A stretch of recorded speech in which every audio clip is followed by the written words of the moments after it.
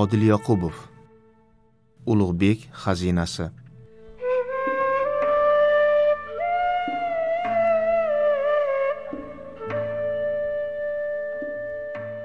Allaqushining xayolini yana mavlono muhiddinning yig'lamsiragan tovushi bo'ldi. Dilingizga ozor bergan bo'lsam kechirgaysiz habibim. Ne qilay? Allaqusshi indamadi. Shu payt tashqarida qayerdandir olisda dukur dukur oyoq tovushlari eshitilganday bo'ldi. Allaqusshi nafasini ichiga yutib devorga suyandi. Mavlona muhiddin ham hiqillashdan to'xtab birdan jimib qoldi. Tashqaridagi gurs gurs qadamlar yaqinlashib og'ir qulflarning sharaq shurug'i sukutni buzdi. O'zing shafe bo'lg'aysen parvardigor pichirladi mavlona muhiddin.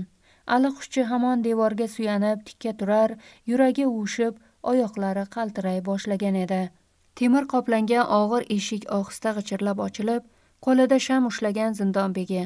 Uning ketida ikkita sipoh ko'rindi. Allaquschi shamning xira shu'lasida amir sulton jondor bilan g'ilay yasovulni tanidi. Amir jondor tashqarida qoldi. G'ilay yasovul esa zindonbegining qo'lidan shamni olib ichkariga kirdi. Shamni boshi uzra baland ko'tarib mavlono muhiddin qaydasiz? deb so'radi.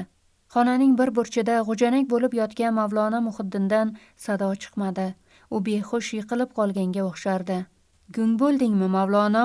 dedi g'ilay sansirab. Sohibi karam davlatpanohimning inoyatila hibsdan ozod bo'lding. Tur o'rningdan. Labbay ha ha? Mavlono muhiddin g'ilayning so'ziga nihoyat endigina tushunganday apil tapil o'rnidan turdi lekin yoriqqa chiqmadi. U qorong'i burchakda ivirsib nimanidir qidirar allanimalarni pichirlab go'yo aqldan ozgan odamday o'zini u yoqdan bu yoqqa otar edi. Mavlono chiq zindondan dedi g'ilay baqirib. U qo'lidagi shamni balandroq ko'tarib devorga suyanib turgan allaqushiga qaradi. Yo rab o'zing shafqat qilg'aysen dedi allaquschi yuragi muzlab. Lekin yasovul indamadi. U ko'zlarini g'alati o'ynatib bir ishshaydi da xonadan chiqdi. Nahot to'xtamas nahot bir so'z aytmay bu sovuq go'rda tiriklayin qoldirib ketar. Temir qoplangan og'ir eshik ohista g'ichirlab yopildi. Yo'lakdan tushib turgan xira yorug'lik so'nib hibsxona yana mudhish qorong'ilikka cho'mdi. Allaquschi a'zoyi badani bo'shashib bo'yraga tiz cho'karkan mavlono muhiddinga aytgan boyagi gaplari esiga tushdi. Xayolidan g'ururi g'olib kelib aytgan boyagi takabbur so'zlar uchun ko'k yuborgan bir intiqom emasmi bu? degan fikr o'tdi. Lekin ikkinchi daqiqada qalbida yana o'sha isyonkor tuyg'ular jo'sh urdi. Vijdon amriga bo'ysungan sadoqati zohir bir qo'lingga bu jazoni lozim va lobit topib tubanlikka yuz tutgan ul subutsizga mehr shafqat inom etsang adlu insof qayda ey parvardigori olam dedi u xayolan. So'ng peshonasini g'adir budir devorga qo'yib pichirladi. Boshga tushganni ko'z ko'rar sabr qil ali sabr.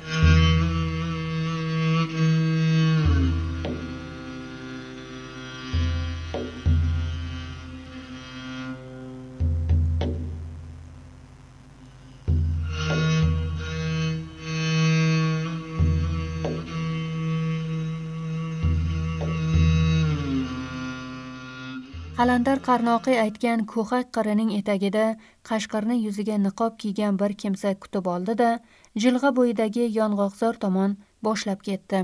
Lekin yong'oqzorga yetmay to'xtadi. Kaftlarini og'ziga tutib zaxchaday qah qah qildi. Darhol yong'oqzordan ham qah qahlagan ovozlar eshitildi da uch nafar otliq ko'rindi. Otliqlar qashqarni qurshab olib yong'oqzorning orqasidagi jarlikka boshlab tushishdi. Jarlikning tubida qalandar qarnoqiy gulxan yonida isinib o'tirardi. Bu safar qalandar uni ochiq chehra bilan qarshi oldi. Hatto qashqir ham demay ey xush kelibsiz boshim deb yonidan joy ko'rsatdi. Qashqar qalandarning yonidagi xarsangtoshga cho'nqayarkan tun yarmida chuqur jarlikda gulxan yoqib o'tirgan devsimo qalandar ham uni qurshab olgan niqobli kimsalar ham yo'lto'sar qaroqchilarga o'xshab ketdiyu ko'ksiga pinhona tupurib qo'ydi. Qalandar unga nayaki tutib xo'sh ne mujda keltirding gapir yasovul dedi. Qashqar mujda emas noxush xabar keltirganini o'ylab pitirlab qoldi. So'zla yasovul dedi qalandar burgutning changaliday panjalari bilan uning tizzasini qisib. Qashqar qo'rqa pisa gapni mavlona muhiddindan boshladi lekin so'zini tugatmasdanoq qalandar o'rnidan turib ketdi. Go'yo gap mavlona muhiddin emas o'z ustida borayotganday chuqur bir afsus bilan attang attang deb qo'ydi. Axir subutsizlik qilib durda suf unday allomai zamonga. U gulxanni chir aylanib qashqarning ro'parasida to'xtadi.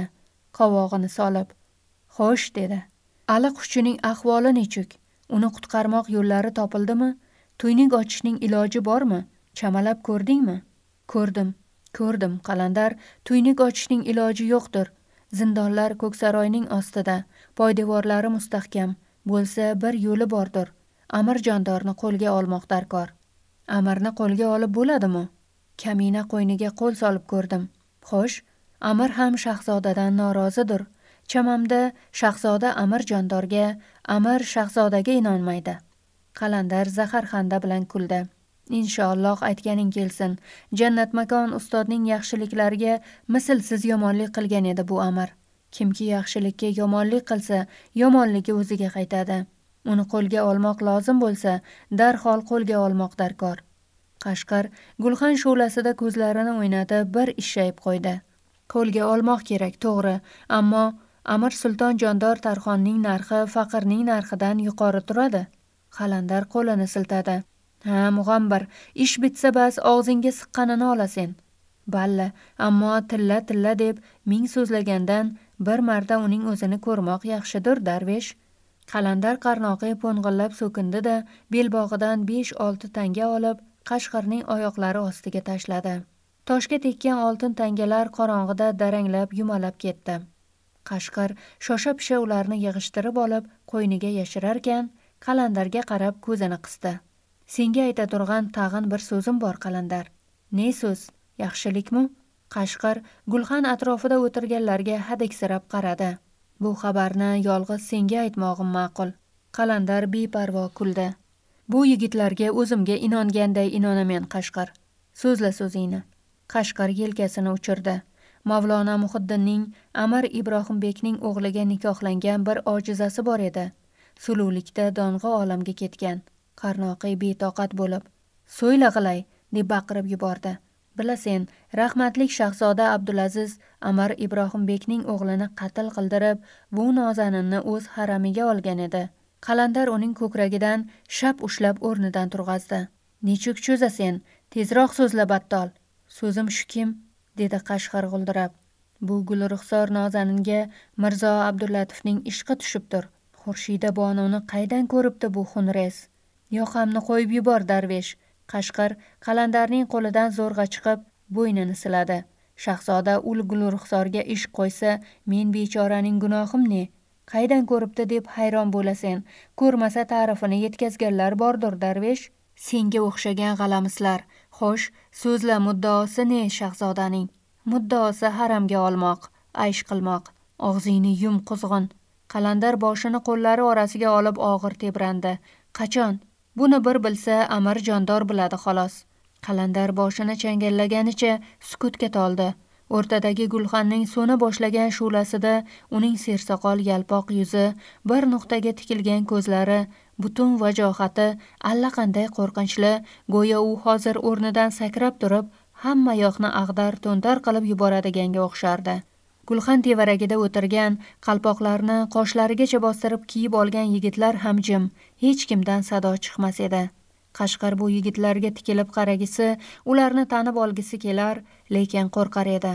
Qalandar boshidagi kulohini yulib olib qattiq g'ijimladi. Oh insof neligin bilmagan shahvatparast xoqon haramingda zanjirband etilgan o'nlab kanizlar ipsiz bog'langan baxtsiz malaklar yetmasmidi? Endi kelib kelib uning yolg'iz umidi ko'zining nuri ko'nglining guliga ko'z tikasanmi qalbida miltirab turgan so'nggi shu'lani so'ndirib bor yo'g'idan judo qilasanmi? Senda insofu adolat bormi ey nobakor palit to'satdan qalandar shitob bilan o'rnidan turdi. Senga bir so'zim bor qashqir qancha tilla kerak bo'lsa ayamayman. Mavlona allaqhushchini qutqarmoq yo'lini axtarib ko'rgaysen. Ungacha ovqat povqat berib turmoqning chorasini topgaysen. Bu ishda menga aytaturgan so'zing bo'lsa mana bu yigit vositachi bo'lur. Qalandar chetroqda o'tirgan bosqonbekka imo qildi. Qachon qay joyda uchrashmoqni so'zlashib olinglar. Qalandar shunday dedi da ketdik degan ma'noda qo'l siltab qantariqlik turgan otlarga tomon yo'naldi.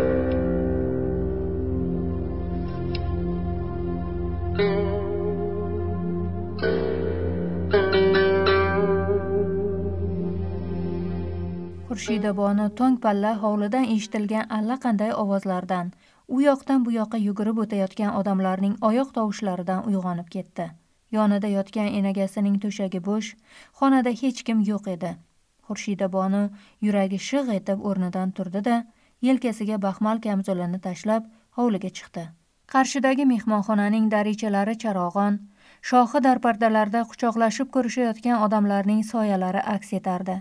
Dadam dadamlar qaytibdir degan fikr miyasida chaqmoqday chaqnadi-yu, uy to'la erkak ekani ham esidan chiqib, mehmonxonaga qarab yugurdi. xurshidabono kirganida dadasi, to'g'rirog'i, dadasiga ham o'xshagan, ham o'xshamagan, soch soqoli o'sib, ko'zlari ichiga botib, cho'pday ozib ketgan qoqsuyak bir chol. Ha, dadasi xuddi bobosiday cholga o'xshab qolgan edi. Ko'z yoshlari tirqirab, odamlar bilan quchoqlashib ko'rishar edi. Xurshida bonu yosh boladay piq piq yig'lagan bu yupun cholga tikilib bir lahza lol bo'lib qoldi-yu, keyin ho'ngrab yuborib o'zini uning quchog'iga otdi. Bir lahzada uylari to'yxonaga aylandi. Qassoblar kelishib bog'larida qo'y so'yishdi. Oshpazlar osh damlashdi. Kun bo'yi uylaridan odam arimadi. Qo'ni qo'shnilar, qarindosh urug'lar, savdogarlar, shoirlar va fozillar, erkak va ayollar, xullas odam uzilmadi. Sochini oldirib soqol mo'ylovini qirtishlatib boshiga oppoq salla o'rab egniga zarrin tun kiyib olgan dadasi hamon og'ir kasaldan turgan xastaga o'xshasa ham bir ikki kundayoq o'ziga kelib odam bashara bo'lib qoldi.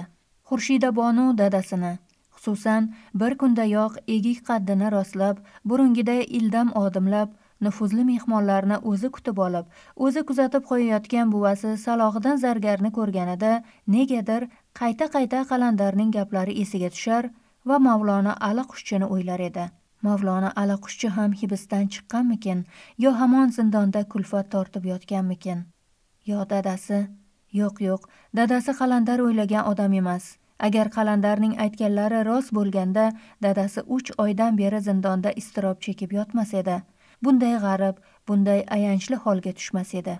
Xurshida bonu dadasi bilan to'yib to'yib suhbatlashgisi undan hol ahvol so'ragisi ayni zamonda mavlona ali xushchining holini bilgisi kelar lekin uylaridan hamon odam uzilmas edi. Bu kun tushdan keyin keluvchilar xiyol siyraklashib uylari biroz tinchigan edi. Kechqurun saroy mahramlariga o'xshash uch to'rtta basavlat kibor odamlar kirib kelishdiyu salohiddin zargardan tortib xizmatkorlarigacha. Hamma yana sarosimaga tushib qoldi. Ular ketgandan keyin esa bil'aks uylari allaqanday mudhish sukutga cho'mdi. Bu jimlik va uydagilarning xatti harakatlari xuddi dadasini hibsga olib ketgan mashum tundagi xatti harakatlarga o'xshardi. Qattiq shamol turib qor aralash yomg'ir yog'a boshlasa ham buvasi salohiddin zargar avrasi movud suvsar po'stinini kiyib shomu g'aribonda qayoqqadir ketdi. Xizmatkor va qorovullar eshik va darvozalarni taqataq yopib hujralarga kirib olishdi. Enagasi esa nechundir yig'lab kirib yotib qoldi. Ne bo'ldi? Yo dadasining boshiga boshqa bir uqubat tushdimi? Uqubat tushsa undan xurshidadan nechun yashirishadi? Katta mehmonxonaning darichalari yorug' chamasi dadasi uyg'oq edi. Xurshida bonu egniga qunduz yoqali qizil barqut kamzulini tashlab o'z xonasidan chiqdi. Dadasi mehmonxonaning to'rida. Qora movut chakmoniga o'ranib chordona qurib sariq saxtiyon jildli katta bir kitobni o'qib o'tirardi. U qizining kirganini sezmadi ham. Xurshida boni oyoq uchida yurib borib uning ro'parasiga ohista cho'nqaydi. Cho'nqayganda kumush shamdondagi shamlar lip etdi-yu, dadasi cho'chib boshini ko'tardi. Uning chuqur botgan katta katta ko'zlarida qo'rquv aralash taajjub aks etdi. Kel qizim. Dadasining ganch devorday oqargan so'lg'in yuzini qo'rquv cho'kib ayanchli javdirab turgan mahzun ko'zlarini ko'rganida bonuning o'pkasi to'lib qult etib yutindi dadajon ko'p qiynalibsiz azob chekibsiz. Mavlona muhiddin boshidagi uchli qora duxoba taqyasini to'g'irlab o'zining mayin o'ksiz tovushi bilan haq taoloning bu ko'rsatganiga ham shukur qizim dedi. Mana eson omon diydor ko'rishdik. Ha parvardigorimga ming qatla shukur bir baloyi azimdan qutulmishmiz pichirladi bonu u ko'ngliga tugib qo'ygan gaplarini aytishga iymanar bu gaplar usiz ham arang o'tirgan otasining o'ksiz ruhiga ozor berishidan cho'chir. Ayni zamonda qalandar qarnoqiyning so'zlari yodidan hech ko'tarilmas edi. U qalandarning aytganlari yolg'on bo'lib chiqishini mavlona xushchi ham dadasi bilan bab barobar hibsdan ozod qilinganini eshitgisi kelar shunday bo'lishini dil dilidan istar edi.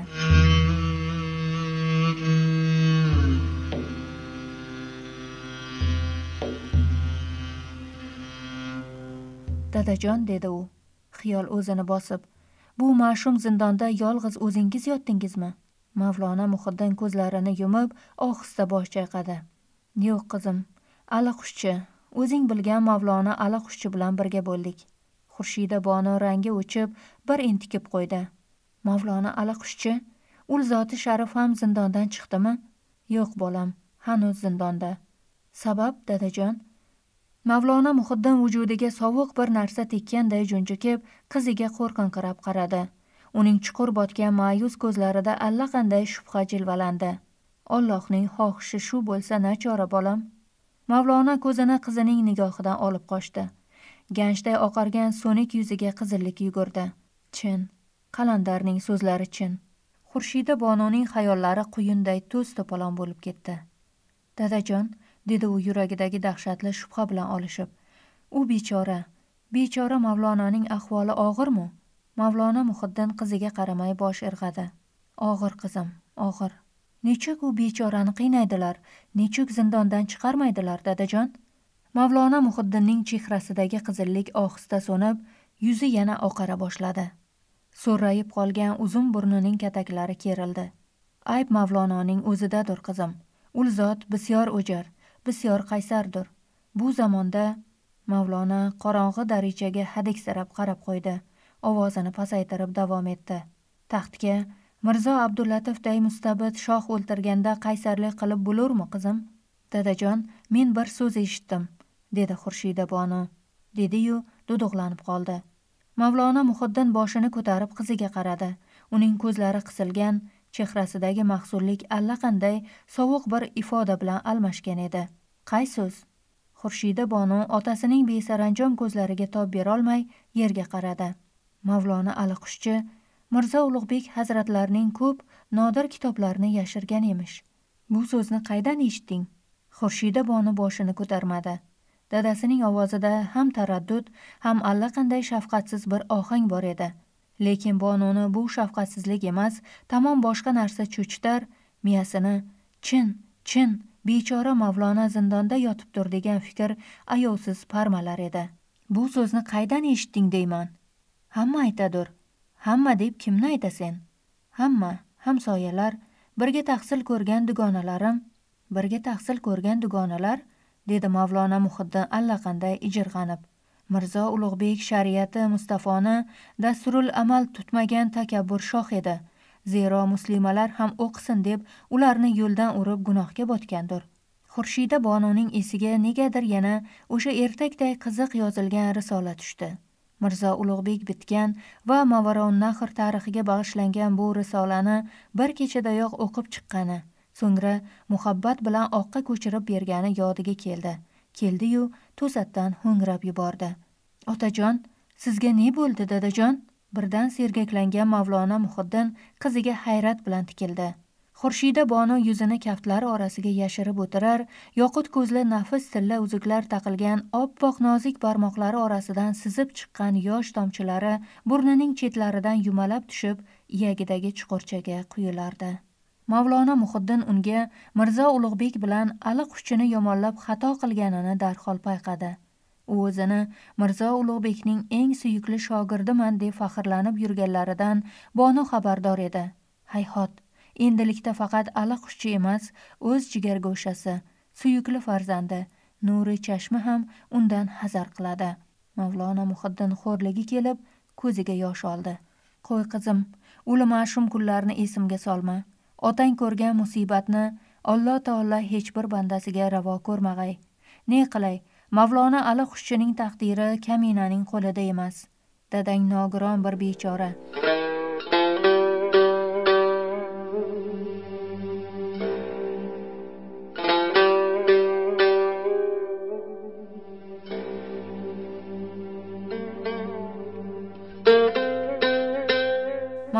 Muhiddin o'pkasi to'lib gapirolmay qoldi.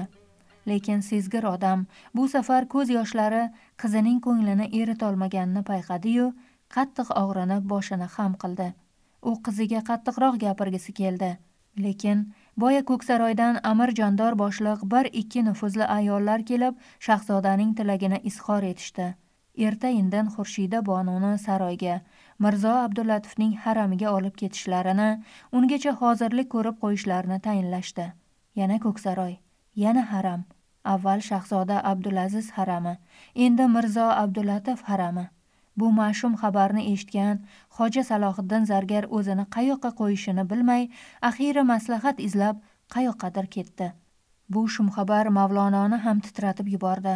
Lekin ko'z oldiga salkam uch oy yotgan mudhish hibsxona keldiyu rozilik berishdan boshqa chora topolmadi. Hozir xurshida bonu ohista kirib kelganda mavlona muhiddin shuni o'ylab qo'rqib ketgan edi.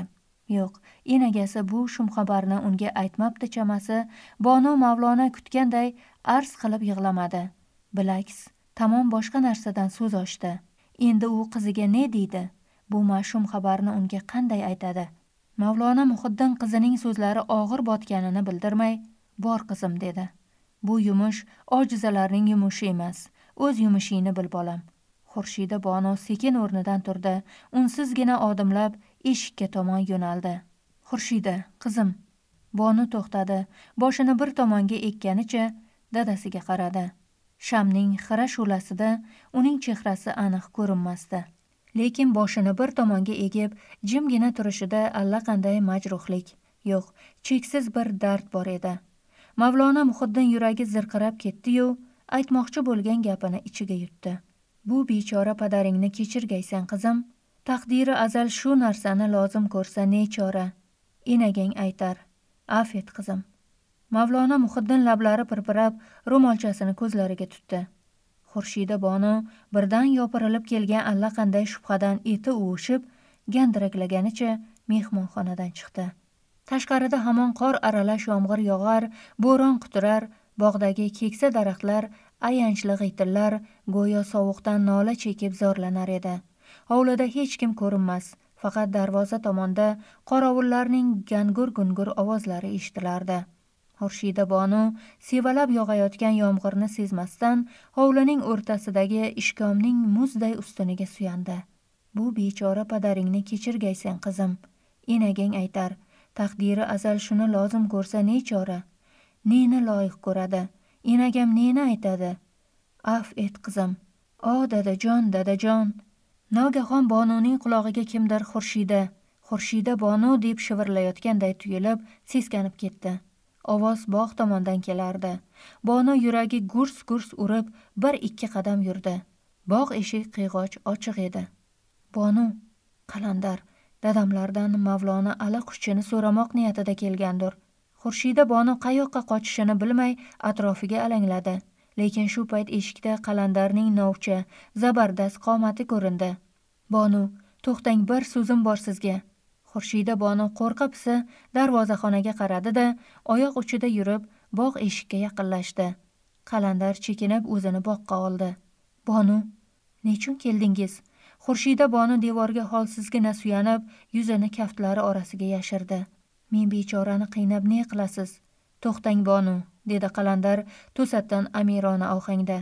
Dadangiz sizga hech narsa demadimi? Aytdi. Siz haq so'zni so'zlabsiz. Biroq nechora dadam nogiron bir bechora. To'xtang bonu bugun bu dargohga ko'ksaroydan birov keldimi? Ko'ksaroydan birov keldimi? Boya tushda kelgan notanish ammo yurish turishlaridan saroy mahramlariga o'xshagan kalondimoq odamlar esiga tushgan bonu yana eti junchikib keldi dedi. Ular ne muddaoda kelganlar? Qalandar so'zini aytolmay dudug'lanib qoldi-yu o'zidan g'ijinib shafqatsizlik bilan shahzoda sizni o'z haramiga olmoq niyatida ekanini eshitdingizmi? deb so'radi. Xurshida bonu yalt etib qalandarga qaradi. Qorong'ida uning nafasi yetmay entikkani eshitildi. Yo'q bilmasangiz bilib qo'ying bonu bu battol padarkush jamolingiz ta'rifini eshitibdi eshitib o'z haramiga olmoqni niyat qilibdi. Sovuq qaltiroq bosgan xurshida bonu ko'zlarini yumdi. Uning nigohi oldidan dadasining xasta chehrasi ketmas quloqlari ostida uning g'amgin ovozi qayta qayta takrorlanar edi. Bu bechora padaringni kechirgaysan qizim. Taqdiri azal shu narsani loyiq ko'rsa ne qilay?